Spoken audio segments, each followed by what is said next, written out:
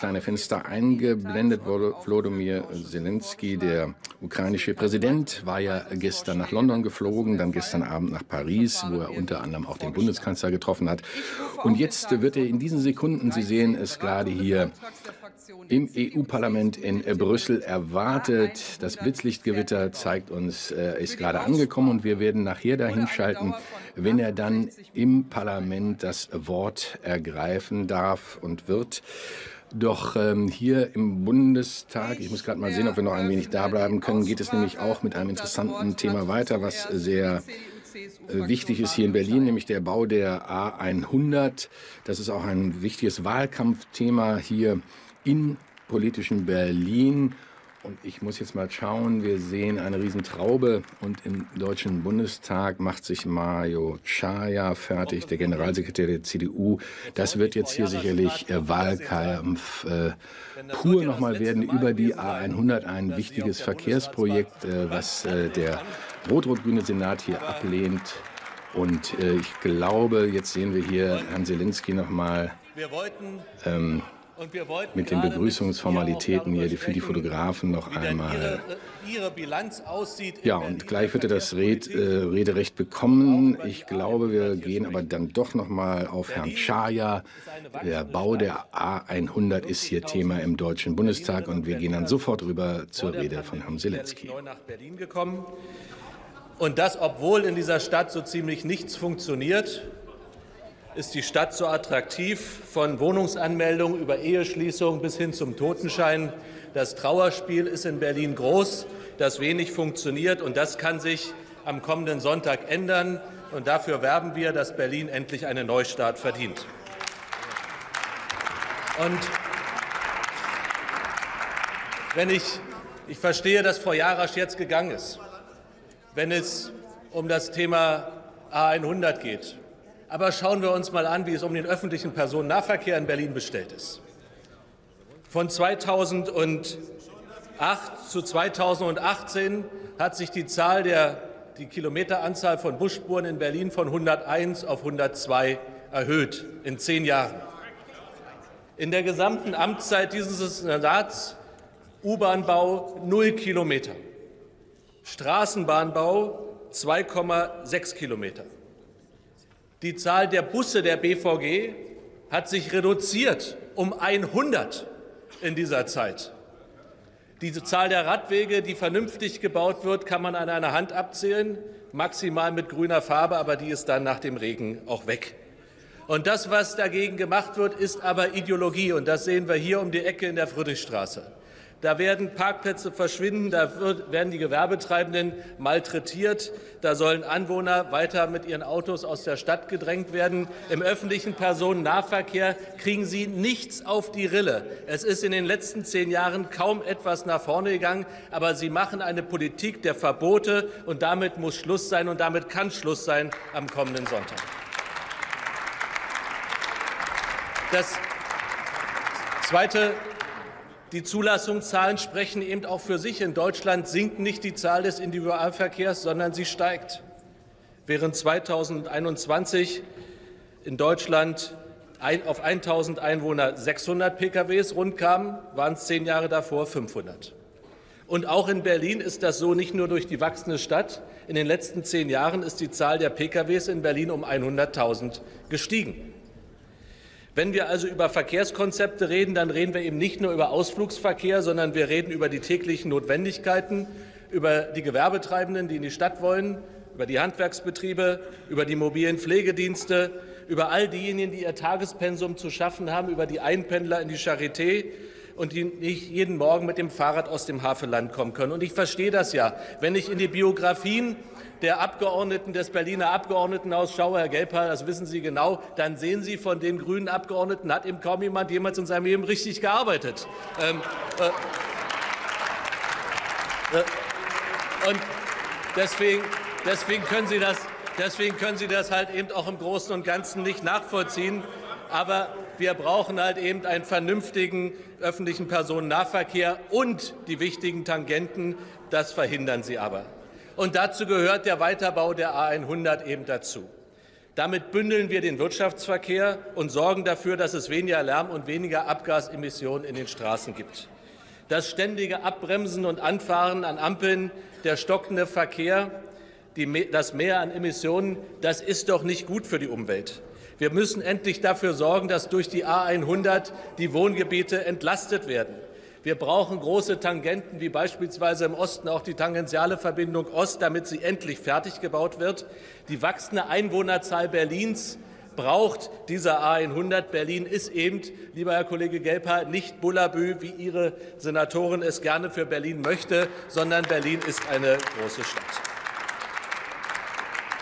Eine Ihrer letzten noch Vernünftigen bei den Grünen. Frau Popp hat damals ein integriertes Wirtschaftskonzept, Wirtschaftsverkehrskonzept für Berlin erarbeitet. Sie haben sie vertrieben, wie sie alle halbwegs vernünftigen Grünen in Berlin vertrieben haben. Und darin war vorgesehen, dass man die A 100 unbedingt für die Bündelung des Verkehrs braucht. Und zwar auch, um den Stadtrand mit dem Südosten und mit Brandenburg miteinander zu verbinden. Wir haben den Flughafen BER, wir haben die große Tesla-Fabrik in Berlin-Brandenburg, wir haben mehr als 200.000 Menschen, die täglich einpendeln. Und wir wollen diese Menschen unterstützen und wir wollen auch, dass diese Wirtschaftsstandorte weiter mit Leben erfüllt werden und nicht behindert werden. In der Verkehrspolitik ist es wie in der Bildungspolitik extrem dramatisch, und man muss ja eigentlich nur Sie untereinander zitieren. Ihre noch regierende Bürgermeisterin in Berlin hat gesagt, sie wünscht sich von der Verkehrssenatorin, ich zitiere, dass sie ihre Energie auf die wirklichen Probleme der Stadt lenkt und nicht mit Nebelkerzen Klientelpolitik macht. Ja, sie hat recht damit, solange sie es noch ist. 70 Stunden hat sie noch im Roten Rathaus. Dann ist vorbei und dann wird diese Stadt anständig regiert und die A 100 auch gebaut, weil es dringend notwendig ist. Ja, das Thema lädt förmlich ein. Wahlkampf pur hier im Deutschen Bundestag. In Berlin wird erneut gewählt und ein umstrittenes Thema ist der Weiterbau der A100 im Südosten von äh, Berlin. Da hat der Bund auch ein gehöriges Wort mitzusprechen. Und Kevin Kühnert von der SPD, so ist zu hören, ist einer derer, der sagt, auf keinen Fall den Weiterbau. Lieber Kollege Chaya, das ist ja, das ist ja misslich. Da ist man dann nach langer Zeit hat man den Sprung vom Berliner Abgeordnetenhaus rüber in den Bundestag geschafft und dann muss man die alten Reden noch mal auftragen, die man damals drüben gehalten hat. Es ist schon auch schade, dass dir nichts eingefallen ist, seitdem du hier dazugekommen bist. Und warum hast du ja gar nichts gesagt zum Thema der A100 eigentlich? Da habt ihr hier extra einen Antrag aufgesetzt, wolltet das als Besprechungspunkt machen und dann ging es um An- und Anfahren an der Ampel und um Stausituationen. Also wir halten fest, es ist Februar, draußen ist kalt, da macht der Wahlkampf draußen nicht so viel Spaß. Und deswegen ist es sehr solidarisch, dass der Deutsche Bundestag gestern nach dem Thema Wohnen und heute beim Thema Mobilität die großen Abschlusskundgebungen der Parteien ins Warme in diesen Saal rein verlegt hat. Dann machen wir das eben hier so zusammen und reden ein bisschen über die Landespolitik in Berlin. Und übrigens, Wahlkampf ist ja auch eine Zeit, die Menschen zusammenbringt. Man ist nah bei den Menschen. Sie, lieber Herr Chaya, sind jetzt nah bei Ihrem Spitzenkandidaten Kai Wegner. Das erste Mal fast in der Geschichte. Vor zwei Jahren haben Sie ja noch gesagt, Herr Wegner würde näher an Hans-Georg Maaßen als an Angela Merkel stehen. Jetzt rufen Sie dazu auf, ihn zu wählen. Kann sich jeder selber seine Meinung bilden. Wie ratsam das ist, dem am Sonntag seine Stimme zu geben. Nun ja. Zurück zum eigentlichen Thema, zur A100. Denn das ist ja für die Stadt Berlin, für die Menschen hier, für die Verkehrspolitik durchaus eine wichtige Frage. Wir haben einen Bundesverkehrswegeplan, in dem dieser 100 sowie viele andere Vorhaben auch aufteilt. Dieser Bundesverkehrswegeplan 2030, der leitet uns auch in der Ampelkoalition ganz grundsätzlich bis zu einer Ablösung durch einen Mobilitätsplan, an dem wir gemeinsam arbeiten. Doch auch im jetzigen Bundesverkehrswegeplan muss fortwährend überprüft und priorisiert werden. Selbst die Projekte des vordringlichen Bedarfs in diesem Verkehrswegeplan können bis 2030 und werden gar nicht in ihrer Gesamtheit umgesetzt werden. Das ist keine politische, sondern das ist erstmal eine rein mathematische Aussage. Die Kapazitäten geben es gar nicht her, das zu, das zu tun. Deshalb geht es uns, und da haben wir uns ja auf den Weg gemacht in der Ampelkoalition, um eine Bedarfsüberprüfung. Es geht uns um eine Bedarfsüberprüfung, bei der fortwährend geguckt wird, wie sich die verkehrlichen Bedarfe in Städten eigentlich entwickeln. Die sind nämlich nicht in Beton gegossen, sondern die sind veränderbar, und zwar insbesondere durch aktive städtische Mobilitätspolitik, auf die wir alle dort, wo wir Verantwortung tragen, tatsächlich Einfluss haben. Wer aber in kurzer Zeit Wer in kurzer Zeit bis 2030 mit begrenzten zur Verfügung stehenden Ressourcen Infrastrukturausbau beschleunigen will, der muss priorisieren. Wer wie Sie Beschleunigung ohne äh, ähm, Priorisierung haben möchte, der produziert vorprogrammiertes Chaos, meine Damen und Herren. Alles priorisieren wollen, einfach alles bauen wollen, was irgendwo mal aufgeschrieben wurde, ohne mit Sinn und Verstand zu gucken, was in welcher Reihenfolge gebraucht wird. Das ist vorprogrammiertes Chaos, und das machen wir nicht mit, meine Damen und Herren. Priorisierung ist das Stichwort. Priorisierung bedeutet, dass wir uns angucken müssen, wie wir das Angebot an Mobilität in unseren Städten und damit auch in Berlin so verbessern können, dass wir Einfluss nehmen können auf die Verhältnisse, die wir vorfinden. Wie können wir politisch Einfluss nehmen auf das Angebot. Da ist erstens die Infrastruktur als solche zu nennen. Die Mobilitätsbedarfe von Menschen sind weit weniger religiös, als Sie das politisch gerne diskutieren. Die kleben nicht quasi religiös an einem bestimmten Mobilitätsträger, sondern die haben Mobilitätsbedürfnisse in ihrem Alltag und wollen beantwortet kriegen, wie denen gerecht geworden werden kann. Transport von Arbeitsmitteln, Transport zur Arbeitsstelle, Erledigungen im Alltag, Kinder zum Sport bringen, Freizeitaktivitäten nachgehen, das muss gewährleistet sein. Dafür ist es notwendig, in unseren Städten, so auch hier in Berlin, beispielsweise ja, die U-Bahn auszubauen. Ich nehme die Kritik gerne an, dass der aktuelle Senat in 14 Monaten noch keinen Kilometer U-Bahn gebaut hat. Aber Herr Czaja, den Senat wollen Sie nicht anführen mit Ihrer Partei, der in 14 Monaten eine U-Bahn baut. Ja, die BVG illustriert manchmal Bauarbeiten mit einem Maulwurf, aber das ist eben nur eine Illustration. Ganz so einfach läuft es dann in der Praxis am Ende eben doch nicht, meine Damen und Herren. Es geht um den Ausbau der Tram. Hätte Frau Jarasch gerne noch mitgegeben, dass es da ein bisschen schneller noch gehen könnte beim Ausbau des einen oder anderen Projektes in der Stadt. Es geht um den Ausbau des Busverkehrs, gerade auch am Stadtrand, hin zu einem Zehn-Minuten-Takt und vieles andere mehr. Worauf haben wir zweitens Einfluss, wenn es um die Angebotssituation geht? Auf den Preis.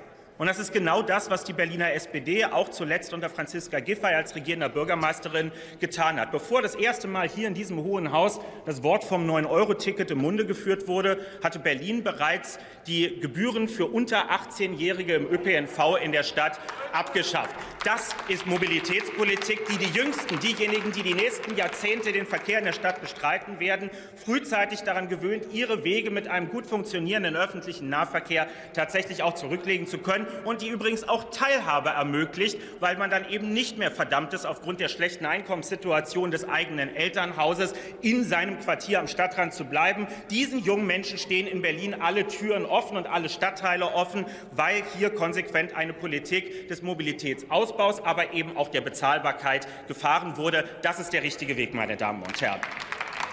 Und da geht es ja jetzt konsequent weiter mit dem 29-Euro-Ticket in Berlin. Es ist schade, man hört leider nicht ganz so viele klare Bekenntnisse neben dem eben besprochenen Deutschland-Ticket, dass in Zukunft es eben auch solche Sachen wie das 29-Euro-Ticket in Berlin geben soll oder das für Transferleistungsempfängerinnen und Empfänger eingeführte 9-Euro-Ticket in Berlin, was es nach fester Überzeugung der SPD auch weiterhin geben sollte, damit Mobilität auch für den kleinen Geldbeutel möglich ist. Das sind die Möglichkeiten auf die Angebotsseite bei der Mobilität unmittelbar unmittelbar einzugehen. Es hat etwas mit Priorisierung in Haushaltsverhandlungen und bei anderen Stellen mehr zu tun. Man könnte übrigens auf der Angebotsseite auch noch hinzufügen, es geht auch um gute Jobs. In Zeiten von Arbeitskräftemangel konkurrieren auch die öffentlichen Verkehrsträger mit vielen anderen Bereichen. Eine gute Bezahlung, gute Tarifabschlüsse, wie im letzten Jahr zwischen der kommunalen Seite und der Berliner BVG getroffen, mit ordentlichen Lohnsteigerungen für die Kolleginnen und Kollegen, sichern eben auch ab, dass man genügend Beschäftigte hat, die diese zusätzlichen Linien auch in den peripheren Stadtrandgebieten, dass die dann auch tatsächlich gefahren werden können. Meine Damen und Herren, das alles zusammen gehört zur Angebotsseite, die gestärkt werden muss, wenn Mobilität sich ändern soll in der Stadt und wenn wir nicht in Form eines quasi religiösen Glaubenssatzes an Verkehrsprognosen festhalten wollen. Es ist ja bemerkenswert, Herr Czaja. Sie fangen an, in Ihrer Rede darüber zu sprechen, wie sehr Berlin wächst, um dann danach einfach nur zu rezitieren, was in den Verkehrsprognosen drin steht. Hätten wir eine Wohnungspolitik in Berlin, und wir haben es leider ein paar Jahre lang gemacht, nur auf Prognosen aufgebaut, nämlich die vor 20 Jahren, dass wir eine schrumpfende Stadt sind, dann wären die Probleme noch deutlich größer. Lassen Sie uns doch nicht wieder den Fehler machen, einen ganzen wichtigen Infrastrukturbereich als unveränderliche Parameter zu begreifen, wo gar nicht darauf Einfluss genommen werden kann. Politik hat die Möglichkeit, durch klügere und bessere Angebote Einfluss zu nehmen. Und dafür braucht es aber eine seriöse gemeinsame Diskussion. Und da muss ich jetzt nach vielen Wochen des Wahlkampfes hier in Berlin wirklich deutlich sagen, ich mache mir Sorgen, um die Spaltung in der Diskussion gerade am Thema der Verkehrspolitik. Ich bin als Sozi unverdächtig zu wollen, dass Konservative und Grüne zusammen irgendwelche Regierungen in meiner Heimatstadt bilden. Aber dass anhand der Fragen von Verkehrspolitik beide Seiten in einer Stadt mit so unübersichtlichen politischen Verhältnissen eine Zusammenarbeit jetzt schon ausschließen und dass dahinter Menschen aufgewiegelt werden in der Stadt, wo eigentlich gleichzeitig die Lebensrealitäten vieler ausgeblendet werden, die am Stadtrand sitzen und sagen, meine Wirklichkeit wird gar nicht gesehen, während die einen Schaufensteranträge machen und die anderen sich um 600 Meter Friedrichstraße kümmern. Meine Damen und Herren, bitte zurück zur Sachlichkeit. Wir haben eine große Aufgabe mit der Mobilität in unseren Städten zu bewältigen. Lassen Sie uns das mit einem anständigen Ton machen, die Leute nicht aufwiegeln. Lassen Sie uns das Angebot verbessern, damit Mobilität sich ändert und wir dann auch tatsächlich eine klimagerechte Mobilität in unseren Städten umsetzen können. Das ist keine Glaubensfrage, das ist eine Politikfrage. Dafür sind wir doch hier, meine Damen und Herren. Ja, und die Frage, wie halte ich es nur mit der A100, hat äh, Kevin Kühnert nur indirekt beantwortet. Im Bundesverkehrswegeplan steht der Ausbau der A100. Die FDP möchte den Ausbau, offensichtlich die Grünen und die SPD nicht mehr. Und das ist natürlich ein Riesenthema hier auch im Wahlkampf in äh, Berlin. Und äh, jetzt als nächster Redner Dirk Spaniel. Sie sehen es bereits, dass Herr Zelensky gleich reden wird in Brüssel. Wir werden dann auch rübergehen. Das tut mir dann leid für Herrn Spaniel. Wenn es soweit ist, dann werden wir rüber in das Europaparlament gehen. Aber jetzt einstweilen hier weiter mit der Debatte über, Bau, über den Bau der A100 in Berlin. Sondern es ist im fest disponiert. Das heißt, eigentlich ist alles entschieden. Und trotzdem gibt es hier Parteien, die in Berlin und natürlich auch hier im Bundestag Stimmung machen gegen diese Stadtautobahn. Und da muss man mal ganz nüchtern fragen, welche europäische Metropole hat eigentlich keine Stadtautobahn? Da gibt es außer Berlin eigentlich fast keine. Die ganz großen Metropolen Europas haben diese Stadtautobahn, weil allen Menschen klar ist, man braucht, man braucht eine Umleitung des Verkehrs um den Innenstadtbereich herum. Und wie Berliner Politik Berliner Verkehrspolitik eben nicht funktioniert. Das kann jeder in diesem Deutschen Bundestag jeden Morgen und jeden Abend erleben. Gut, manchmal kommt man nach Hause, da ist eben kein Berufsverkehr mehr, aber morgens kann jeder erleben, wie gut der Berufsverkehr und damit die Verkehrspolitik der rot-rot-grünen Rot Regierung hier in Berlin funktioniert. Nämlich gar nicht. Und wenn Sie, und wenn Sie den öffentlichen Personenverkehr so toll finden, hier in Berlin. Warum kommen Sie denn alle nicht mit dem öffentlichen Personenverkehr? Fahren Sie doch einfach nicht mehr Fahrdienst. Beschließen Sie doch endlich mal, hier im Deutschen Bundestag den öffentlichen Verkehr zu benutzen, den Sie den Menschen in Berlin zumuten. Und da möchte ich Ihnen noch mal sagen, hier geht es um Berufspendler. Hier geht es um viele Menschen, die hart arbeiten, jeden Morgen arbeiten müssen. Und die wollen eben nicht ihren nicht funktionierenden öffentlichen Personennahverkehr nutzen. Warum? Das wissen Sie selber ganz genau, weil er nicht funktioniert, weil er unsicher ist, weil er dreckig ist, weil er unpünktlich und unbequem ist. Und das ist das Ergebnis Ergebnis Ihrer Politik, Ihrer Politik hier in Berlin und in ganz Deutschland. Und wir wollen den Menschen, den hart arbeitenden Menschen in diesem Land, diese Autobahn und die Transportmöglichkeit mit dem eigenen Auto ermöglichen. Und kommen Sie nicht immer mit der CO2-Thematik. Sie wissen ganz genau, durch Ihre Politik stehen die Menschen im Stau. Und da verbrauchen sie Sprit ohne dass sie sich bewegen. Und weil sie Sprit verbrauchen, ohne dass sie sich bewegen, ist es eben noch schlechter für die Umwelt, als wenn man eine Autobahn hätte. Und das weiß eigentlich auch jeder. Wir brauchen diese Autobahnen überall. Und wer das nicht möchte, Wer das nicht möchte, dass eine Stadtautobahn die Menschen stressfrei zu ihrem Arbeitsplatz, zum Krankenhaus oder sonst wohin bringt, wer das nicht möchte, der sabotiert die Menschen in diesem Land, die sich keinen Fahrdienst leisten können, so wie Sie hier alle und Ihre Kollegin in der Berliner Regierung. Wir wollen, und das möchte ich hier auch noch mal sagen zu dem Projekt der CDU, wir wollen eine, es geht ja hier um den Antrag der CDU, die A100 zu modifizieren. Wir wollen eine Autobahn, damit die Menschen in Berlin pünktlich und sauber und sicher zu ihrem Arbeitsplatz kommen. Wir würden einen solchen Antrag auch unterstützen. Aber muss es denn sein, dass Sie diesen Antrag garnieren mit weiteren man, die CDU schämt sich ja schon fast, dafür einen Autobahnbau zu fordern, muss das garnieren mit dem Thema Radweg, mit dem Thema Photovoltaik. Da muss man doch mal sich fragen, gucken Sie sich doch mal Ihre Bilder an. Sie können doch nicht ernsthaft, Sie können doch nicht ernsthaft einen Radweg neben einer Autobahn bauen.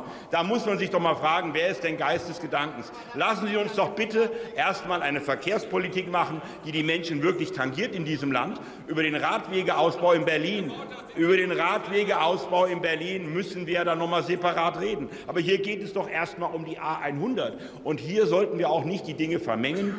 Wir wollen wir wollen genau diese schnelle Verkehrsverbindung. Wir wollen die A 100 und zwar nicht nur den 17. Bauabschnitt, sondern wir wollen natürlich auch den Ringschluss, so wie jede andere große Metropole in Europa das auch hat. Wollen wir das auch, dass die Berliner das kriegen? Und die Berliner können sich entscheiden, welche Politik sie wollen. Und ich bin mir sicher, dass die Berliner, die noch arbeiten und ihr Geld verdienen müssen, ja, da gibt es ja auch noch ein paar, sie arbeiten daran, dass es immer weniger werden, das weiß ich, aber wir wollen, dass die hart arbeitenden Berliner zu ihrem Arbeitsplatz kommen. Und deshalb bin ich mir sicher, die Berliner werden diese Politik abwählen. Und die Berliner haben hier eine Alternative. Und da können Sie auch gerne blau wählen. Vielen Dank.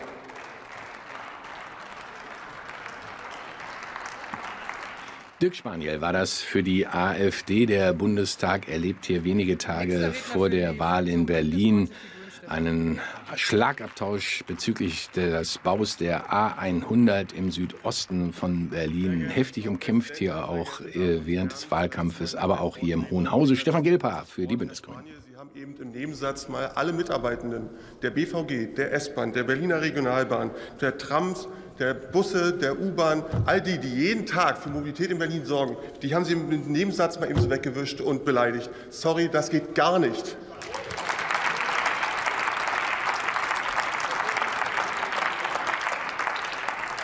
Herr Czaja, wenn Sie persönlich die Bündnisgrünen beleidigen wollen, dahingehend, dass da keiner gearbeitet hätte, da sage ich es erstmal persönlich, das ist Quatsch.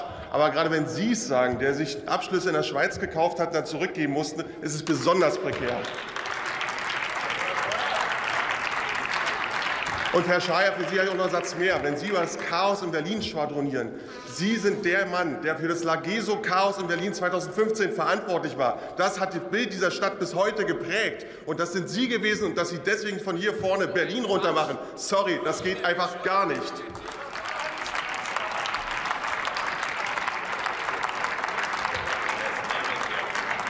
Und lieber Kevin Kühnert, etwas sanfter. Aber die SPD hat sich auch mal um 500, 600 Meter gekümmert. Deswegen ist das Brandenburger Tor jetzt nicht mehr für Autos durchfahrbar. Und das war ein Segen für diese Stadt. Und wenn wir in der Friedrichstraße was ähnlich Tolles hinkriegen, ist das, glaube ich, gut. Manchmal sind 500, 600 Meter was wirklich Tolles. So, okay. Jetzt kommen wir Jetzt kommen wir äh, zur 100. Äh, ich wollte eigentlich eine austarierte, wunderschöne Rede halten, aber ich glaube, ich bleibe ein bisschen gedanklich und emotional. Ähm, ich bin gebürtiger Berliner, ich bin sogar gebürtiger Friedrichshainer. Ich wohne in Pankow. Das, was der Plan der A100 vorsieht, ist genau diese Stadtteile kaputt zu machen. Und deswegen geht mich das persönlich an und deswegen finde ich das schlecht. Das sind die Kieze, die Sie zerstören will. Was, ist, was passiert dort? Dort gibt es Clubs, da gibt es Gewerbe. Clubs wie die Else, den Club Ost, die Renate, das Aubert Blank. Das ist das, was Berlin ausmacht. Deswegen kommen die Menschen in diese Stadt und Sie sagen, Sie wollen irgendwas stadtverträglich dort gestalten. Sie zerstören diese Stadt, die Sie da meinen. Das geht nicht. Wir haben gestern eine große Debatte über Wohnen und Wohnraum gehabt. Ja, auf dem Gebiet, wo Sie die A100 langbauen wollen, da sind Wohnungen. Und da ist auch Potenzial für 8.800 weitere Wohnungen. Das würde Berlin helfen. Und nur so, weil Sie ja immer auf eine Karte gucken und sagen, da kann man noch einen Strich und einen Ringschluss machen. Übrigens, Herr Spanier, wir haben einen Ringschluss, nennt sich A100. Gucken Sie sich mal an, findet mal auf jeder Karte. Aber den, die A10, den Ring zu schließen, damit machen wir Berlin kaputt. Zum Beispiel auch eine Schule, die Karl von der Linné-Schule, eine Schule für Körper- und Lernbehinderte. Das ist das, was Sie damit machen mit dieser Stadt. Sie machen da nichts schön, Sie machen da nur etwas kaputt. Und auch wenn es Berlin ist, wenn es Stadt ist, dann ist dort auch Natur. Dort werden 250 Bäume fallen, die Sie dann eben mal eben wegräumen wollen.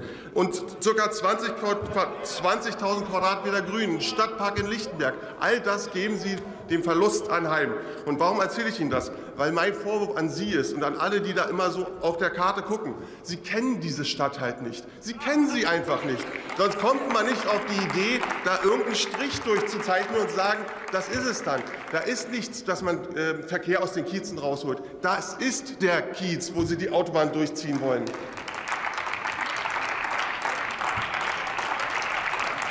Und das hat übrigens auch, das wissen die Bezirke zum Beispiel, der Bezirk Neukölln, der Bezirk Friedrichshain-Kreuzberg, der Bezirk Lichtenberg, der Bezirk Pankow, der Bezirk Mitte, haben alle Beschlüsse gegen den Weiterbau der 100 gefasst. Allesamt.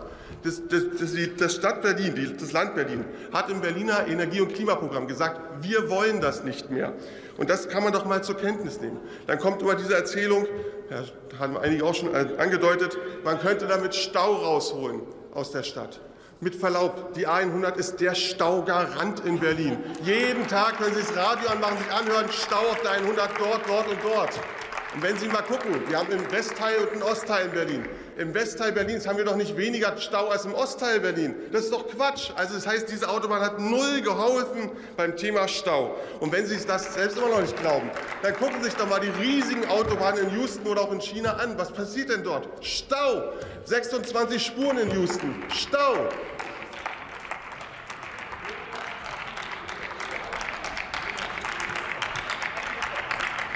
Manchmal kommt es mir vor, als ob das eine Art Sucht ist, eine Betonsucht. Ja? Und sie wollen sich immer noch einen neuen Schuss setzen, irgendwo noch ein bisschen Beton reinkippen.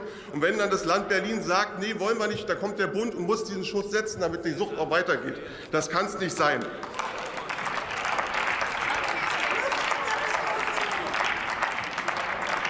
Und klar, dieser Kampf gegen den Weiterbau der 100, der ist lang und alt. Ja, wir haben schon gegen 16 Bauabschnitt damals opponiert. Da ist das Planfeststellungsverfahren von Rot-Rot eingeleitet worden. Und deswegen sehen wir ja auch, was das mit der Stadt macht. Was ist denn da passiert? Es sind Wohnungen weggefallen, es sind Kleingärten weggefallen, es ist Gewerbe weggefallen. Und das ist eben nicht stadtverträglich, liebe CDU. Das ist nicht stadtverträglich, das ist das ganze Gegenteil. Und wenn man dann noch mal einen Blick wirft in die Kosten, anderthalb Milliarden soll jetzt der 17. Bauabschnitt kosten. Das ist Geld, was wir doch für ganz andere Sachen in Berlin brauchen. Und deswegen lassen Sie uns lieber das zweite Gleis für Tegel bauen. Lassen Sie uns die Heidekrautbahn, Heidekrautbahn bauen. Lassen Sie uns die Bahn von Spandau nach Brandenburg bauen. Das kostet auch alles Geld. Und da kann man sich verkehrspolitisch wirklich verewigen. Wer das braucht, der soll sich dort verewigen. Und deswegen, damit komme ich zum Schluss, das kann nicht sein, dass wir so ein Projekt aus dem letzten Jahrhundert einfach, weil es irgendwie geht, weiterbauen. Wir müssen diese Zerstörung, diese Stadtzerstörung stoppen. Wir müssen die 100 stoppen. Vielen Dank. Stefan Gelpaar für die Bündnisgrünen und auch die nächste Rednerin hier im Parlament wohnt in Berlin, kennt sich aus. Das ist nämlich Gesine Lötsch für äh, die Linke, die jetzt als nächste das Wort erhält. Der Bundestag debattiert über einen Antrag der CDU Weiterbau der A100 hier in Berliner Südosten. Wir als Linke wollen den Weiterbau der A100, der teuersten Autobahn Deutschlands, stoppen. Und wir sind auch nach der Rede von Stefan Gelper die einzige Partei im Bundestag, die den Stopp ohne Wenn und Aber fordert. Denn im Verkehrsausschuss hat doch die Fraktion der Grünen mehrfach verhindert, dass unser Antrag, den Ausbau, den Weiterbau der 100 qualifiziert zu beenden, überhaupt auf die Tagesordnung kommt. Was ist denn das für eine Politik? Hier im Bundestag eine tolle Rede zu halten, den Bürgerinnen und Bürgern Sand in die Augen zu streuen, aber sich im Ausschuss, wo entschieden wird, dagegen zu verwahren, das kann ich nicht akzeptieren, meine Damen und Herren. Der Weiterbau der A100 ist undemokratisch, unsozial, unökologisch, extrem teuer und verkehrspolitisch unsinnig. Das Land Berlin, leider ist ja Frau Jarasch rechtzeitig gegangen, ist gegen den Weiterbau der 100. Doch das interessiert die Bundesregierung nicht. Warum will sie gegen den Willen des Landes bauen? Was ist das für ein Demokratieverständnis, meine Damen und Herren? In Ihrem Koalitionsvertrag hatten Sie doch noch versprochen, es wird bei solchen Projekten eine Abstimmung zwischen Bund und Land geben. Offensichtlich gibt es aber nur eine Abstimmung zwischen der Ampel und der Betonindustrie, und das können wir nicht akzeptieren, meine Damen und Herren. 100 Menschen mussten bisher schon ihre Wohnung verlassen. Zwei Mehrfamilienhäuser wurden abgerissen.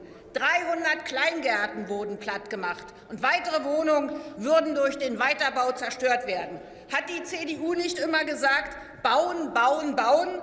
Jetzt fordern Sie abreißen, abreißen, abreißen. Können Sie sich mal für irgendwas entscheiden, meine Damen und Herren? Es ist doch nachgewiesen wissenschaftlich, dass in der Nähe von innerstädtischen Autobahnen vor allen Dingen arme Menschen wohnen. Und Sie fordern mehr Autobahnen, weil Sie genau wissen, dass Sie nie in der Nähe einer innerstädtischen Autobahn werden wohnen müssen. Das ist die Wahrheit, meine Damen und Herren. Und die A100 ist auch keine Klimaautobahn, wie es in Ihrem Antrag lächerlicherweise steht, sondern sie ist ein Klimakiller. Eine Reduzierung von CO2-Emissionen im Verkehrsbereich findet damit nicht statt, sondern ganz das Gegenteil, meine Damen und Herren. Für den Weiterbau der 100 sollen 1,5 Milliarden Euro ausgegeben werden. Zum Vergleich. Wir könnten mit diesem Geld rund 150 Kilometer Straßenbahn in Berlin bauen. Das wäre doch die bessere Lösung, meine Damen und Herren, preiswert und ökologisch. Und wer heute noch Autobahnen in Städten bauen will, der denkt an die Spenden der Autoindustrie und nicht an die Gesundheit der Menschen. Das ist die Wahrheit. CDU und CSU wollen angeblich den Stau auflösen. Doch das Gegenteil wäre mit dieser Autobahn der Fall. Die A100 wird die teuerste Staufalle in Deutschland. An der Autobahnabfahrt geht es direkt in ein Nadelöhr. Und das Verkehrschaos wäre nicht gemäßigt, sondern vorprogrammiert. Sie wollen also genau das Gegenteil erreichen von dem, was Sie uns hier erzählen, meine Damen und Herren. Und das nehmen wir nicht hin. Meine Damen und Herren,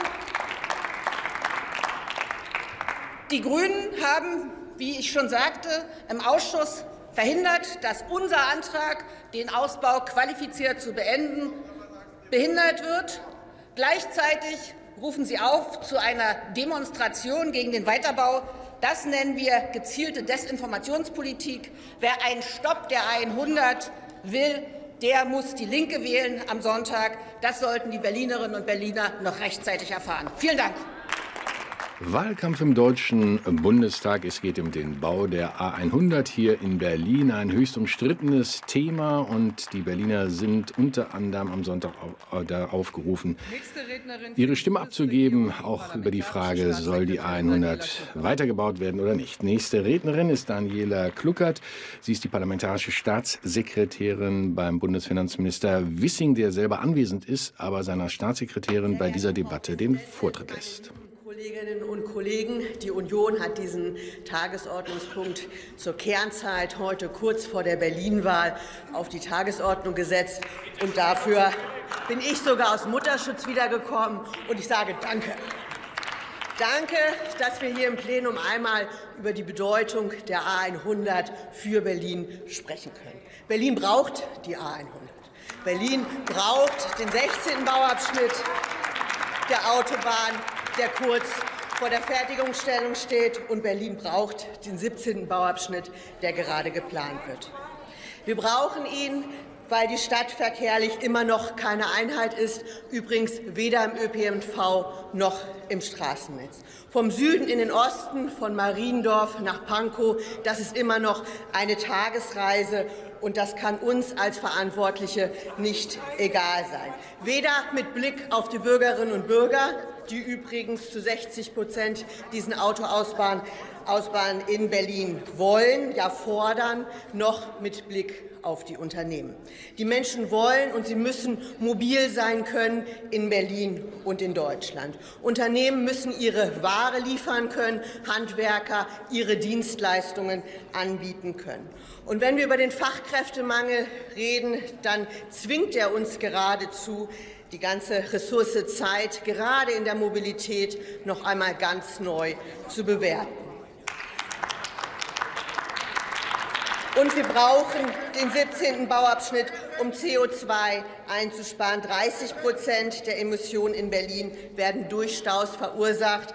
Ein gut ausgebautes Straßennetz, auf dem flüssig gefahren werden kann, das ist eben auch ein Garant für weniger CO2 auf der einzelnen Strecke.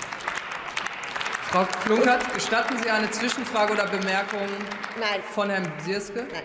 Nein. An dieser Stelle möchte ich übrigens auch mit der Mehr aufräumen, dass mehr Straßen auch immer zu mehr Verkehr führen. In der Geschichte der Menschheit und insbesondere auch in Deutschland hat der Verkehr immer zugenommen und das nicht, weil mehr Straßen gebaut worden sind, sondern weil unser Wohlstand gewachsen ist. Und das ist gut so, meine Damen und Herren.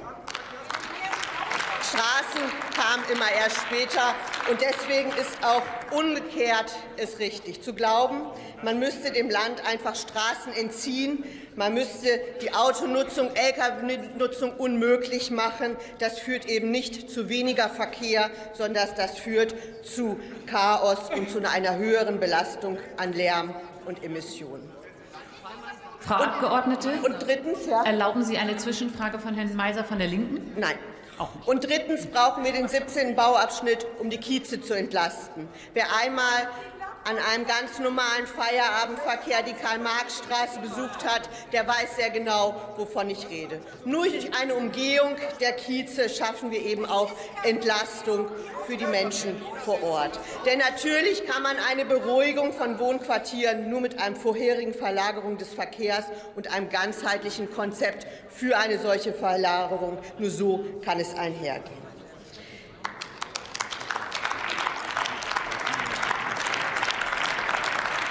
Berlin geht auf die 4-Millionen-Marke der Einwanderer zu.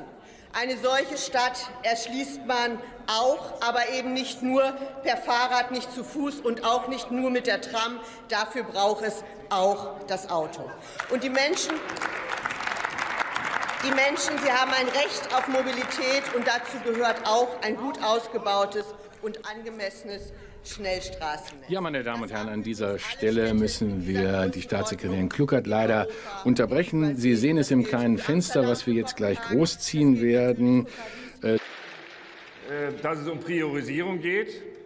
Kollegin Verleden auch, das ist richtig. Dafür haben wir ja auch diesen Bundes Ein historischer Tag für Europa, das hat Roberta Mazzola vor dem Besuch äh, von Wladimir Zelensky im Europaparlament gesagt. Und in der Tat war es etwas ganz Besonderes, hier äh, den ukrainischen Präsidenten mal persönlich zu erleben im Europaparlament. Viel Beifall der Parlamentarier für ihn und eine sehr bezeichnende Szene war am Schluss, äh, wie er gemeinsam mit der Parlamentspräsidentin die Europaflagge in den Händen hielt. Dort möchte er gerne Mitglied werden aber eine bevorzugte schnelle äh, Beschäftigung des Beitritts der Ukraine zur EU, die wird es in der schnellen Form, wie er sich das erhofft, sicherlich nicht geben. Wichtiger für ihn aber sicherlich, dass die Europäer, dass die Amerikaner die Sache der Ukrainer weiter unterstützen, auch mit Waffen. Da hat er drum geworben, gestern in London, gestern Abend in Paris, auch in Anwesenheit des deutschen Bundeskanzlers und hier noch einmal in Brüssel. So, meine Damen und Herren, und der Übergang hier äh, in den Bundestag fällt ausnahmsweise doppelt schwer, denn der Bundestag beschäftigt sich in den Minuten immer noch mit dem Weiterbau der A100, ein doch sehr regionales Thema hier in Berlin, eine große Diskussion über die Autobahn im Südosten Berlin. Der Bauabschnitt 16 genehmigt, der Bauabschnitt 17, den, die einen wollen ihn bauen, die anderen nicht. Und diese Diskussion hat auch den Bundestag erreicht, nachdem die CDU-CSU hier den Antrag gestellt hat. Und es ist schon eine sehr Berliner Debatte, die wir hier erlebt haben. Und im Moment spricht für die FDP, die genauso wie die CDU, CSU sowohl im Bund wie aber vor allen Dingen auch in Berlin diese Autobahn auf jeden Fall fertigstellen wollen, Bernd Reuter. Und mit viel äh, Planungsbeschleunigung zurande kommen, wird das dazu führen, dass diese Brücke gesperrt wird. Und dann ergießen sich äh, um die 150.000 Fahrzeuge jeden Tag in die Berliner Bezirke. Das wollen wir ja wohl alle nicht. Und ich will, und ich will zum Schluss von der A 100 zu einem Beispiel aus meinem Wahlkreis kommen. Vor ungefähr zehn Jahren hat noch ein gewisser Peter Ramsauer die neue Rheinbrücke bei mir eingeweiht.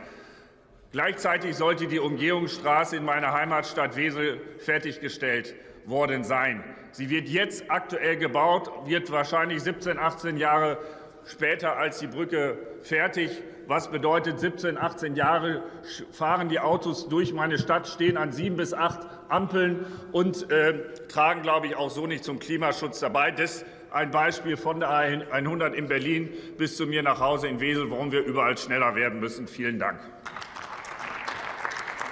Tja, nicht nur in Berlin gibt es Probleme mit dem Autobahnbau. Bernd Reuter hat es ja gerade sehr anschaulich geschildert. Äh, der nächste Redner in dieser Debatte kommt von der CDU-CSU Florian Müller.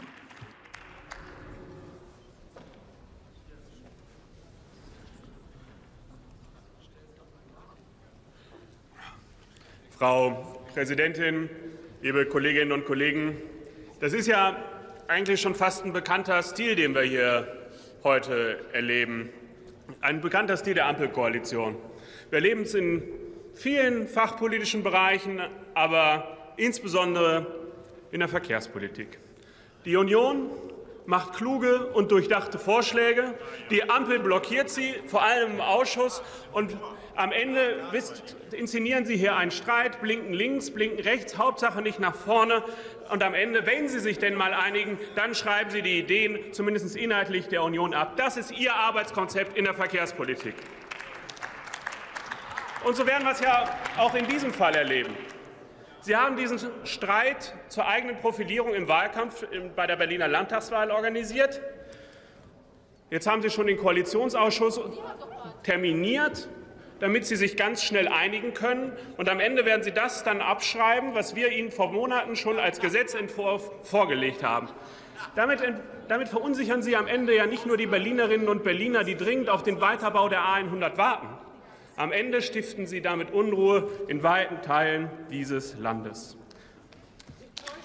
Denn am Ende denn am Ende ist es doch so, dass nicht nur Millionen Pendler darauf warten, dass endlich ihre Autobahn gut ausgebaut wird und sie pünktlich zur Arbeit kommen. Es geht auch um den ländlichen Raum. Der ländliche Raum ist auf eine funktionierende Straße angewiesen. Wenn keine Bahn fährt, weil kein Gleis liegt. Dann braucht es Busse und dann braucht es Autos und die brauchen eine funktionierende Straße. Und das ist ja immer ganz interessant.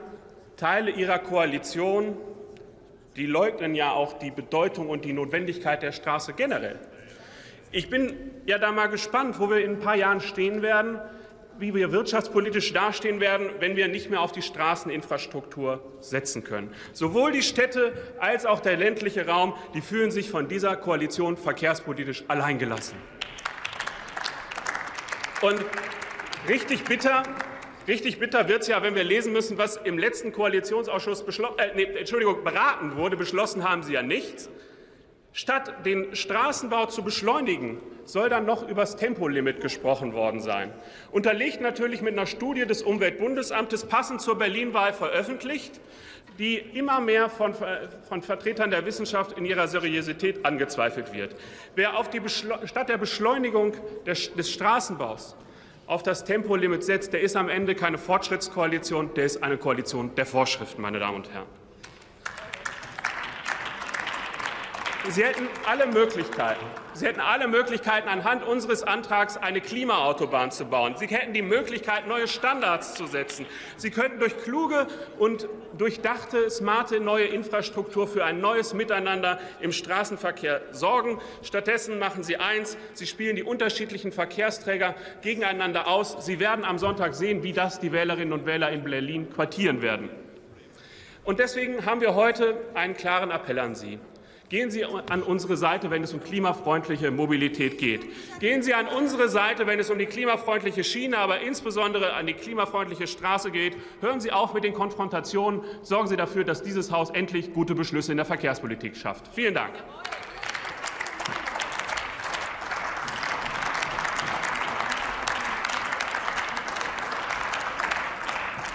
Als nächstes erhält Rupert Stüwe für die SPD-Fraktion das Wort.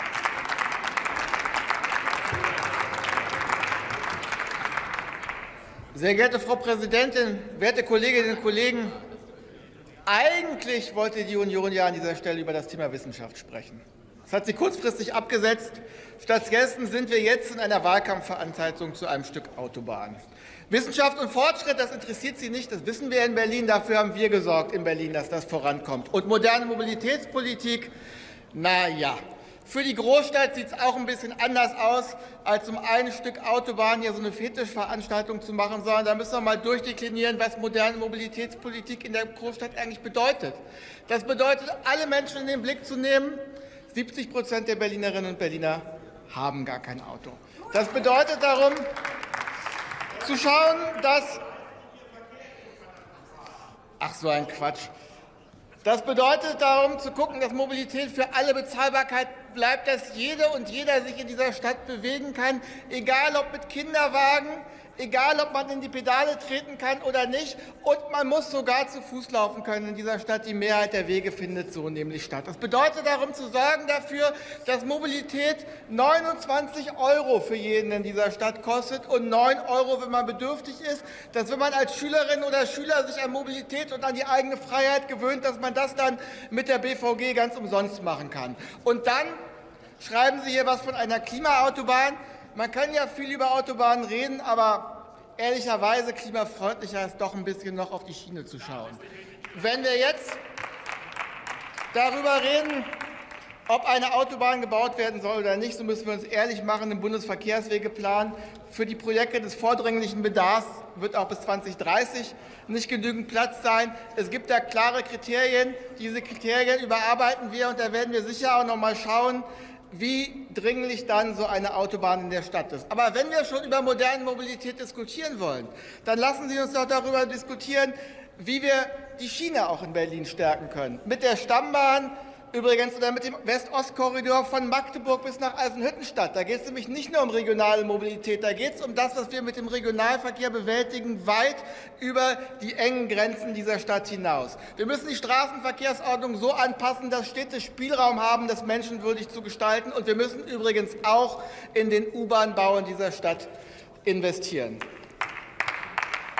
in der Verkehrspolitik, und deswegen diskutieren wir ja hier die ganze Zeit, offensichtlich gibt es am Sonntag tatsächlich eine Wahl. Fixierung auf Symbolprojekte zur Autobahn oder an der Friedrichstraße oder die SPD mit Franziska Giffey, alle im Blick, 29-Euro-Ticket und ein klares Bekenntnis zum besten ÖPNV Deutschlands. Vielen Dank.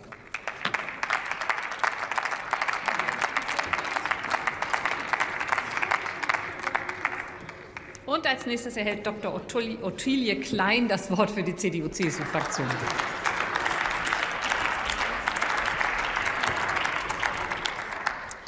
Sehr geehrte Frau Präsidentin, liebe Kolleginnen und Kollegen!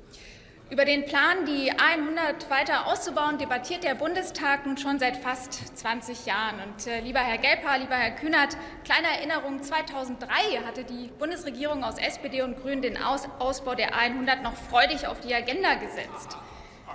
Dann passierte allerdings jahrelang nahezu nichts. Der Ausbau der 100, ein Dauerstau. Da fragt man sich doch, wer tritt da eigentlich auf die Bremse? Schon 2011 stellte unser jetziger Berliner CDU-Spitzenkandidat Kai Wegner hier an diesem Rednerpult fest, Rot-Grün fehlt es am politischen Willen, Berlin zu einer modernen Mobilitätsmetropole zu machen. Und diese Debatte heute, zwölf Jahre später, zeigt erneut, dass, sie, dass, sie sich, dass sich an dieser rückwärtsgewandten Blockadehaltung nichts geändert hat. Die Linken wollen den Weiterbau stoppen. Die Grünen interessieren sich sowieso für die Autofahrer nicht. Und was bei der SPD ist, ja, nein, vielleicht völlig unklar. Ich weiß nicht, wie es Ihnen geht, aber nach der Debatte heute weiß ich nicht, wie die SPD zum Ausbau der A100 steht. Im Gegenteil, man hört hier im Raum, wie aus Reihen der Grünen und der SPD gegen die eigene Regierungspolitik gewettert wird. Verkehrte Welt in der Verkehrspolitik, meine Damen und Herren.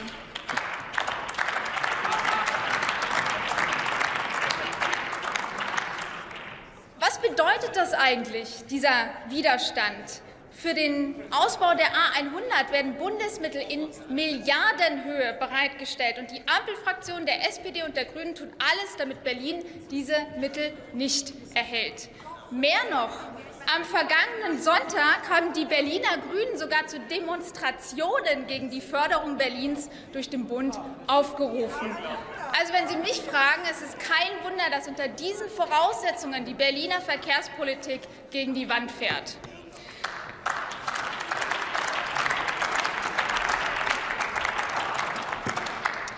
Es reicht ein Blick in meinen Wahlkreis Berlin-Mitte.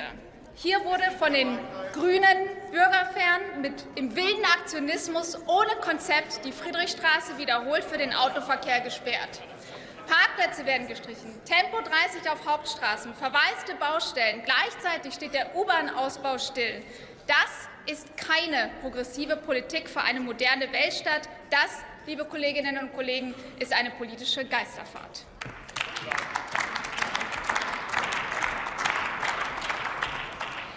Mit dem Ausbau der A100 hätten wir die Möglichkeit, hier im Herzen unserer Hauptstadt die erste klimafreundliche Autobahnstrecke Deutschlands zu bauen. Wenn SPD und Grüne ihren Tunnelblick überwinden würden, dann könnten Sie sehen, dass man mit einem kreativen und modernen Ansatz einen wichtigen Beitrag für die Stadt der Zukunft leisten kann. Stellen wir uns doch einfach mal vor, eine Klimaautobahn, eine unterirdische Strecke, auf deren Oberfläche Spielplätze, Grünflächen und Radschnellwege entstehen. Das ist das, was wir als Union planen. Eine große Chance für Berlin und eine echte Entlastung für die Berlinerinnen und Berliner in der Innenstadt.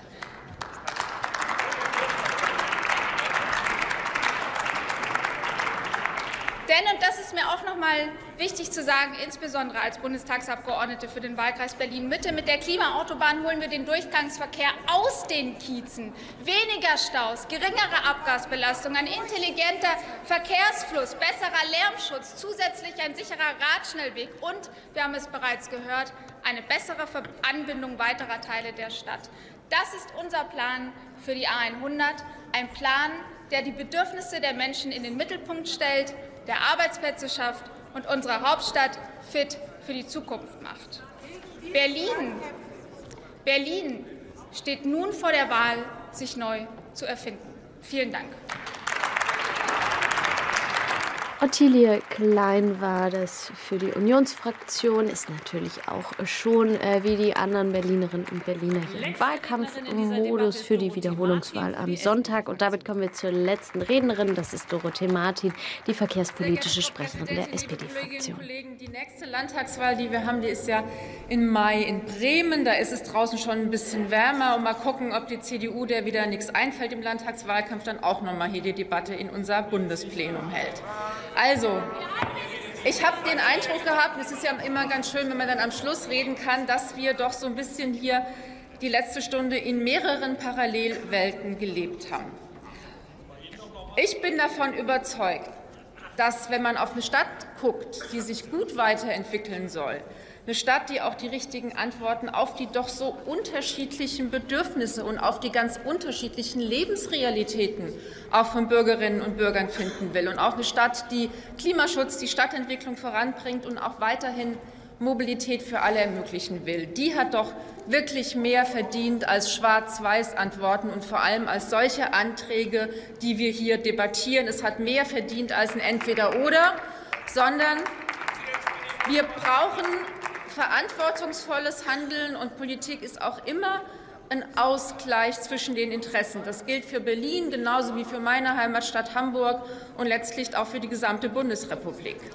Was wir wollen, ist eine verlässliche Infrastrukturpolitik und eine gemeinwohlorientierte Infrastrukturpolitik. Ja, und dazu gehört auch, und das wurde schon mehrfach erwähnt. Und ich glaube, einige hier im Haus, die besonders laut blöken, haben ein bisschen Nachhilfe auch bei Infrastrukturplanung hier nötig.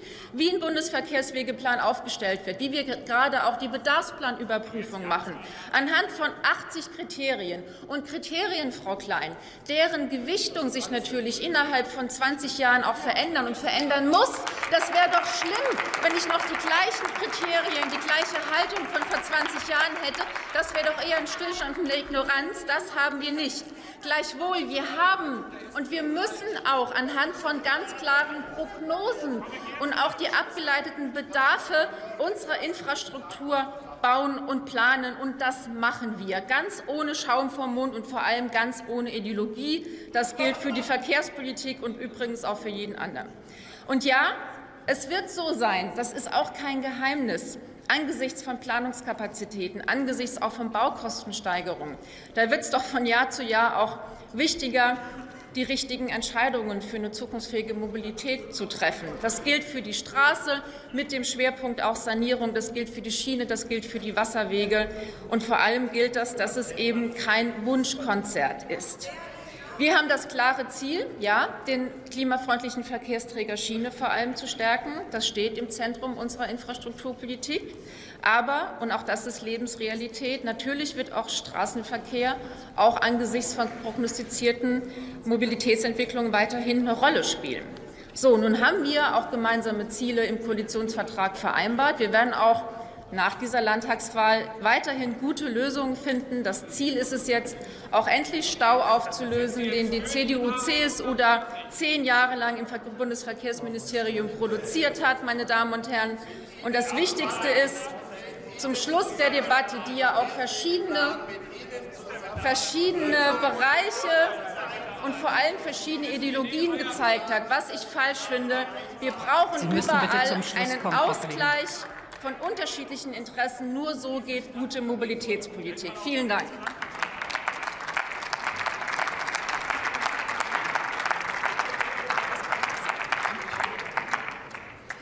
Ich schließe die Aussprache und wir kommen nun zum Antrag der Fraktion der CDU-CSU auf Drucksache 5545. Die Fraktion der CDU-CSU wünscht Abstimmung in der Sache. Hallo? Die Fraktionen SPD, Bündnis 90, die Grünen und FDP wünschen Überweisung, und zwar federführend an den Verkehrsausschuss und mitberatend an den Ausschuss für Inneres und Heimat, an den Rechtsausschuss, an den Wirtschaftsausschuss, an den Ausschuss für Umwelt, Naturschutz, nukleare Sicherheit und Verbraucherschutz, an den Ausschuss für Tourismus, an den Ausschuss für Wohnen, Stadtentwicklung, Bauwesen und Kommunen sowie an den Ausschuss für Klimaschutz und Energie. Wir stimmen nach ständiger Übung zuerst über den Antrag auf Ausschussüberweisung ab. Und ich frage, wer stimmt für die Überweisung? Das ist die Koalition. Wer stimmt dagegen? Das ist die Linke, die CDU, CSU und die AfD.